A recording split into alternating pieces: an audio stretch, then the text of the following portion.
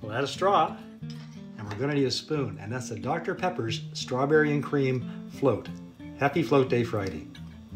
Well, I got a call from Candy Depot today. The Dr. Pepper Strawberry and Cream Soda Pop came in. Let's make a float. Let's add our soda pop to a chilled glass.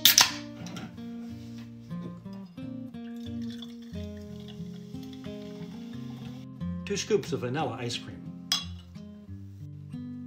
Let's add some more of our pop. We should give it a try. Oh, it's delicious. I first found out about this from another TikToker, and uh, she does reviews on pop and candy and food.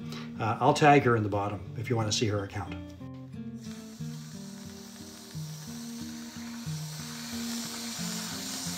Let's add a fresh strawberry right on top.